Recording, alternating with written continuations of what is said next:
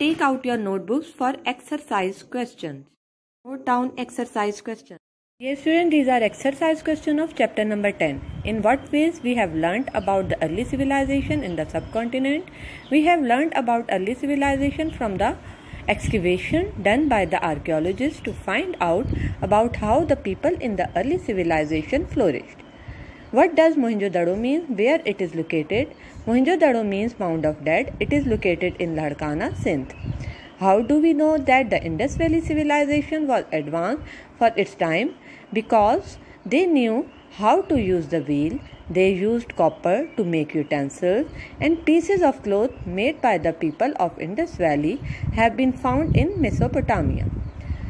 And this showed that they traded with people at a distance from their civilization.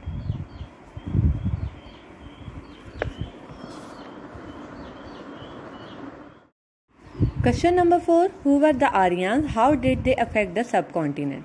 The Aryans were a large tribe from Central Asia. They settled in the subcontinent in 1500 BCE. They introduced the Sanskrit language and also brought the new religion Hinduism. Question number 5 is Describe how learning progressed in ancient India.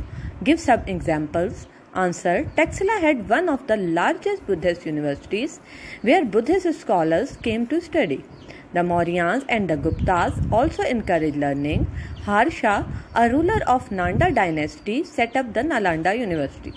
The famous mathematician Aryabhata from this university invented the concept of zero. Dear student, this is all about lecture number 20. Take care. Allah Hafiz.